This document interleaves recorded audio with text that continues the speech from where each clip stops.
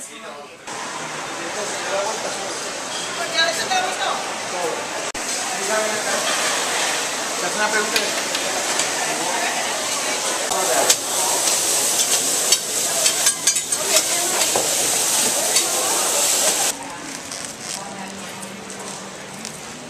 Good old Sarku Japan for lunch.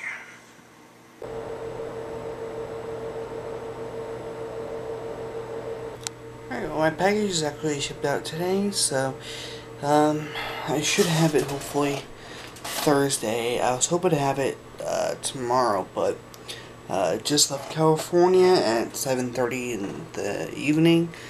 I'm pretty sure, well hopefully that's Eastern time, but uh, it should be here around Thursday hopefully.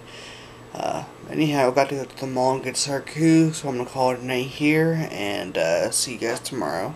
Good night.